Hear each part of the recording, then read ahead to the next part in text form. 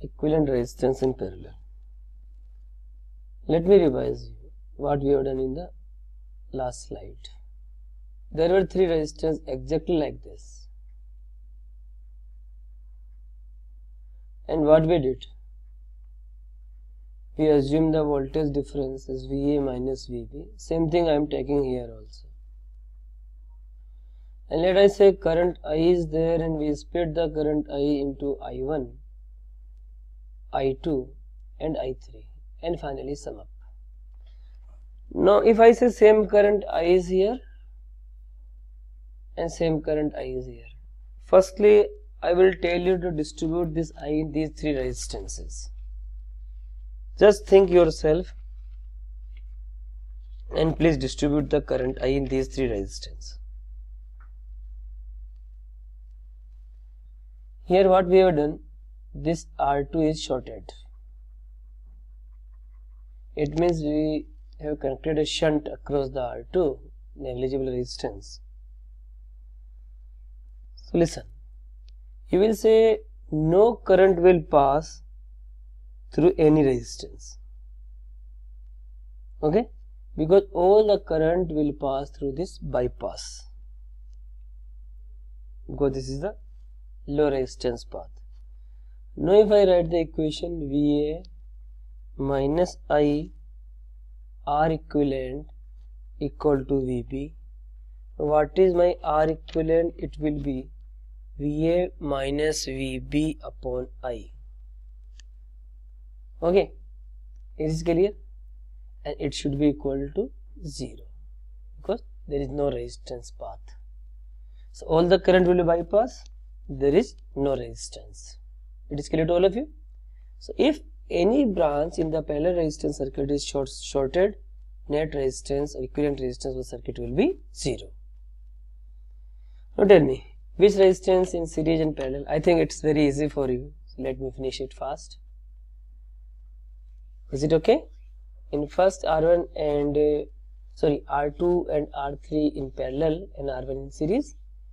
In second diagram R2 and R3 in series and then they are parallel with R1. Okay. You have to tell me what is the equivalent resistance of the circuit and what is the current through each resistance. You pause the video and solve yourself. Now listen. This is my circuit. I hope it is visible to all of you. This 6 and 3 in parallel so they can be converted to 2. Why? Because we know in the parallel net is given by 6 into 3 18 upon 6 plus 3 9 18 by 9 is 2. Now 4 plus 2 this that is in series 6 ohm. What is the net current? That is 3 ampere. Is it okay? Now what is the net voltage? That is 18 volt and that is exactly equal to the external supply. Now we have to distribute the 18 volt. Is it okay? In 4 ohm and 2 ohm. V equal to IR. 12 volt and 6 volt. Now I have to distribute this 6 volt also between 6 and 3. Is it okay? Why we have written 1 ampere, 2 ampere? I think all of you know. V equal to IR. Voltage is same across B and C end. So voltage is same at 6 ohm and at 3 ohm. It means what you will say I is proportional to 1 by R. So what I will say I1 by I2 equal to I2 by R1. It means current will distribute in the ratio 3 is to 6. So if I say this is the current I1, this is the current I2, I will say I1 by I2 equal to 3 by 6 or 1 is to 2. You can think in this way or you can think in voltage form also. Here the voltage is 6 volt.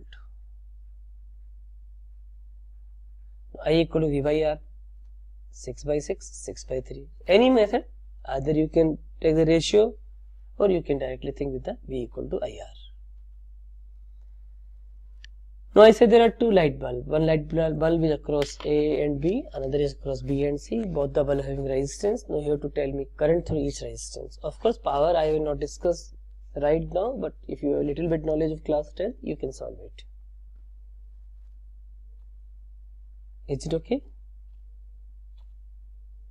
current is okay power equal i square r net resistance is 4 2 plus 2 4 and net current is 2 2 square is 4 so 4 you can say let me write here.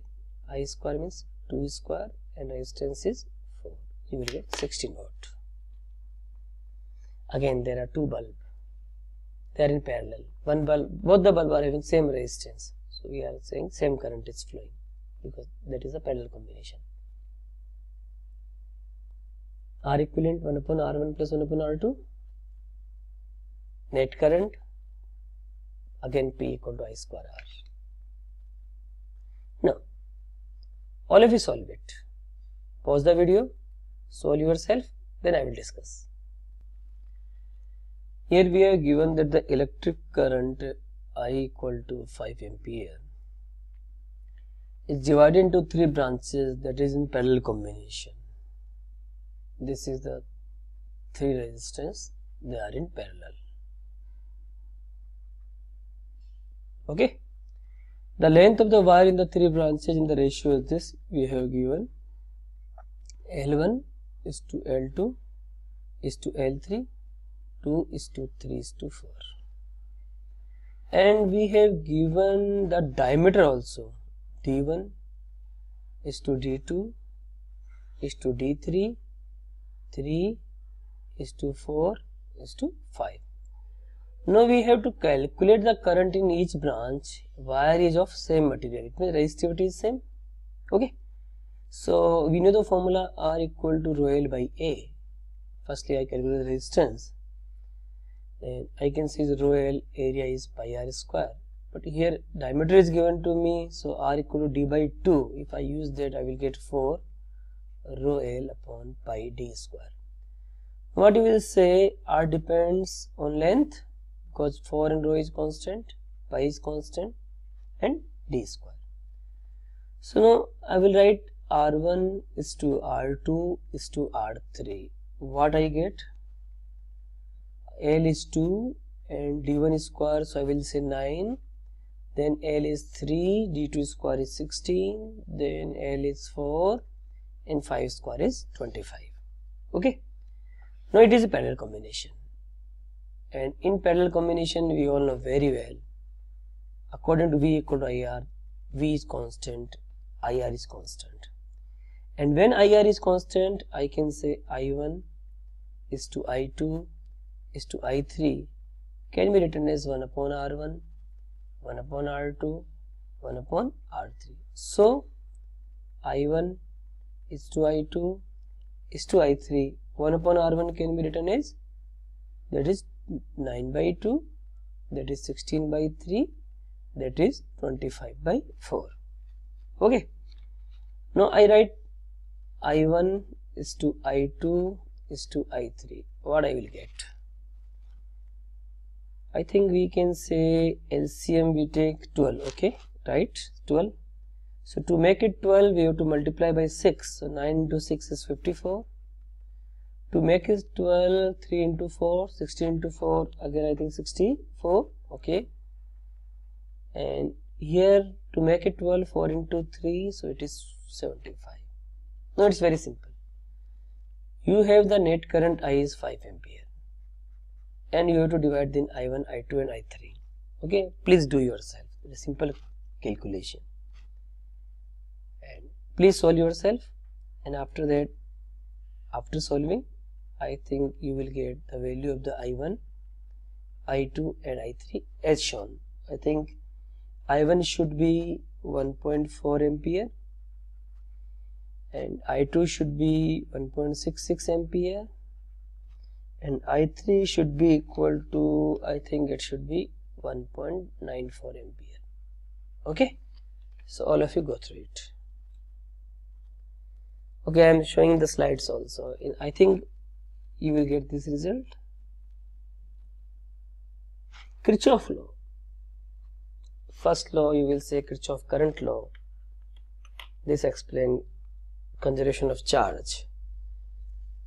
As we have discussed earlier sum of all current meeting at a junction is equal to 0 so you will say algebraic sum of electric current at a junction in any electric network is always 0 like I say here. This is the O point where in this way there are some current some current are entering at the point O junction O some current are leaving. So you can say entering current that is I1 plus I4 this must be equal to leaving current I2 plus I3 plus I5 or you can say net sum of current meeting at a junction is 0 so you will say I1 plus I4 minus I2 minus I3 minus I5 is 0 incoming current toward the junction are taken positive and outgoing current away from the junction are taken as negative. Or you can say the charge cannot accumulate at a junction. The number of charge that arrive at a junction in a given time must equal to you can say must leave in the same time in accordance with conservation of charge. So first law explain conservation of charge. Second law i will say it is a kvl think it is not written let us write here i'm typing error so i will say it is kvl Kirchhoff voltage law.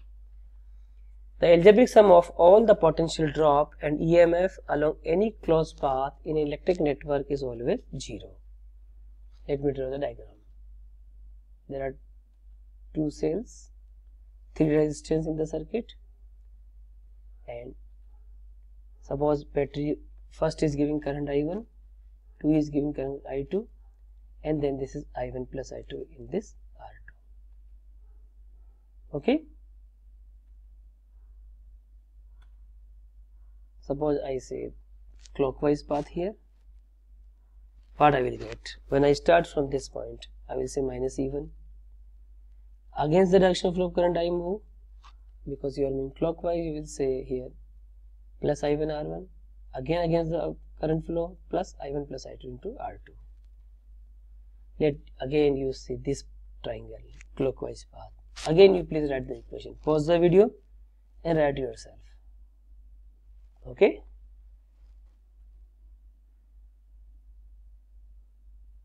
Before writing sign convention let me write loop equation for the path a b c d a suppose i start from point a where i move against the direction of flow current. Here i will say it is minus e1 and I will say plus I1 R1 then you I am going along the direction of flow current voltage drop. So you will say minus I2 R2 you are moving inside the battery same direction plus E2 this should be equal to 0 so sign convention exactly same rule the EMF is taken negative when we move from positive to negative terminal. That I have discussed. You please read yourself.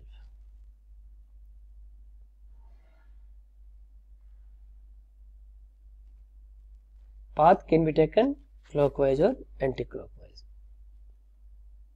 Now again I am revising it. A junction is a point where three or more conductors meet I have underlined this three I want to mention it like this C point is not a junction. Some of you must be thinking this C is a junction. It is not like that. That's why I have drawn underline here.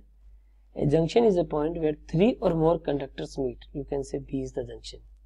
C is not junction. D is not junction. It is A junction because there are three conductors are meeting. Junction word is clear. Because at the junction you can apply the Kirchhoff first law. Sum of all current meeting at the junction is zero. A loop is any closed conducting path. I hope we have drawn here for three loops. Loop 1 external, then there are two loops inside. Loop always start and end at the same point. You just see first loop starting, then again ending here. Second loop starting, ending again here. Third loop and fourth loop. Kirchhoff first loop again I will say what is Kirchhoff first rule the algebraic sum of current meeting at a junction is 0 summation i equal to 0 or incoming current equal to outgoing current you can think water pipe analogy the flow rate of water leaving the pipe equal the flow rate entering second rule KVL the algebraic sum of potential difference in any loop must be equal to 0 okay? And this explains conservation of energy. Summation v equal to 0 when you move along the direction of flow of current in the battery there is gain in potential energy. But again that is emf and potential difference means loss in energy sign convention. Again I am telling you. When you move negative to positive like first diagram you will say plus E. In the second diagram you will say it is minus E. Okay? Simply you can understand charging and discharging the cell also.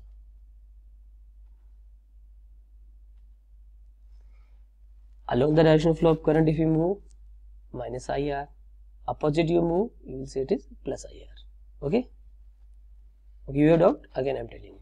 Just template here. Okay, just listen. I say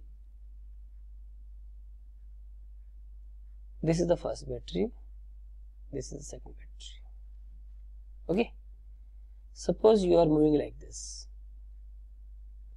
In this diagram you are moving like this. Suppose you are assuming the path that is the anti-clockwise and here you are assuming the clockwise path something like this suppose. Okay. Now here this is positive and this is negative. This is positive and this is negative. All of you intelligent. This is direction of flow current. In this situation you are moving along the direction of flow of current. So you will say it is plus e. Here you are moving opposite direction of flow of current. You will say minus e. Now it is clear no doubt. Okay we will solve some numerical you will get better idea.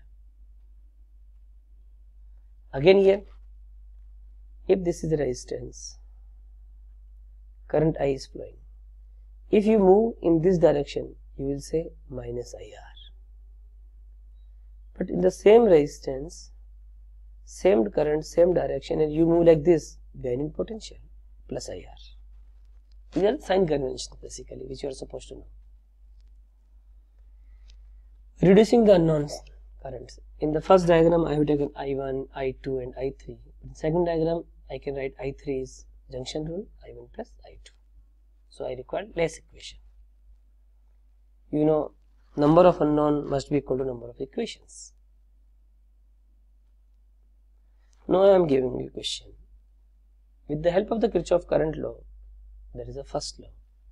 Calculate the current through each resistance. First of all you just try to solve it.